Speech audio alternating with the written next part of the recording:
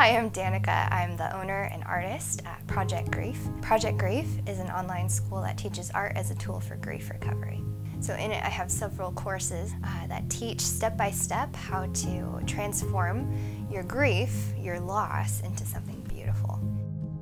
My primary focus is helping women um, because I think that I'm, I'm able to, to speak into their lives as a friend and fellow griever. Um, I am most passionate about helping women who've experienced loss one year or more um, after the loss. So um, people who aren't in that survival mode just right after loss, you've picked up all the pieces that you can and now you're looking for a way forward and trying to readjust to that life without that loved one. Um, that's where I come in.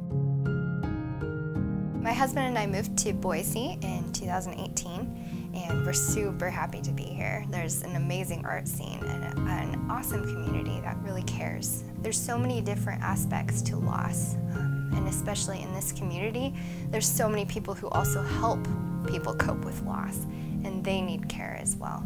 And so um, my, my art workshops are available to the people in the Treasure Valley. My resources are also available uh, online. A lot of my online students have found special success um, when they do counseling, formal counseling, in conjunction with a Project Grief uh, online course.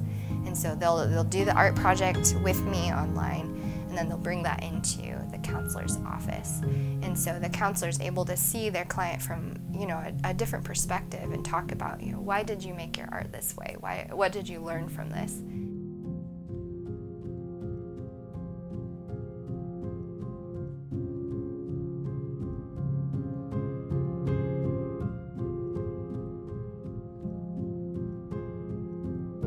There's a free course, and so I'm um, offering that as a, a, preview to the master course.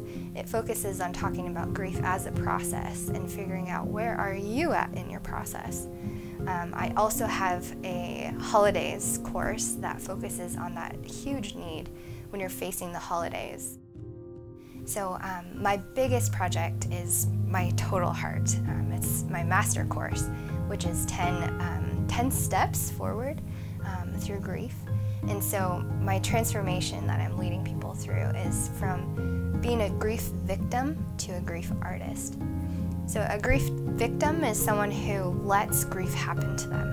Um, victim mentality says that, oh, I can't do this because, you know, that reminds me of them. Um, I'm always going to be stuck in my grief. I'm always going to be defined by, by my grief. On the other side of healing, lots of processing, lots of tears, is what I call a grief artist.